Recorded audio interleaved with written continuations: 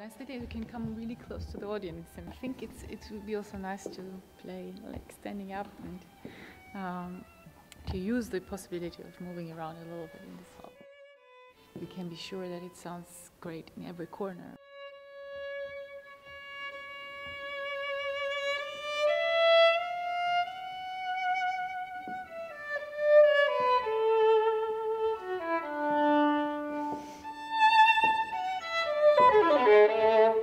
For the player, it's amazing because you, the sound it, that is produced uh, is so it's so sensitive. You feel that you can go as soft as as you wish, and uh, you don't have to worry at all about not projecting because it has this exact, uh, like a ideal amount of uh, acoustical resonance that you need in order to enjoy, but at the same time to be able to express what you want to say. It's also all about enjoying to play together in a new hall and why we enjoy playing together. It's because there is this kind of generosity in the sound that, uh, that you can explore uh, in a new hall like this. And I think this is going to be one of the most important German music halls in the future.